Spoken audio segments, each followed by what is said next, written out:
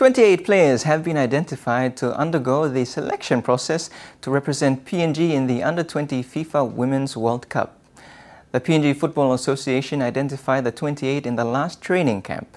They will move to the National Sports Institute in the Eastern Highlands capital Goroka for the final selection. Paul Tomic Jr. reports.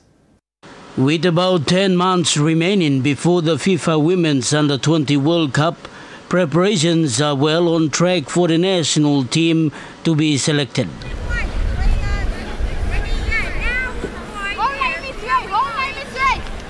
Ten of the 28 players identified to undergo final selection were part of the senior women's team that played New Zealand Fan on the first leg of the Rio Olympic qualifier in Lae last weekend.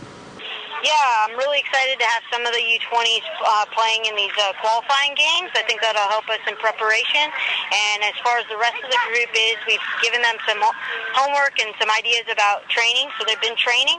Uh, we'll bring them into camp hopefully uh, February 1st, February 2nd into Goroka, and then we'll begin our preparations from then.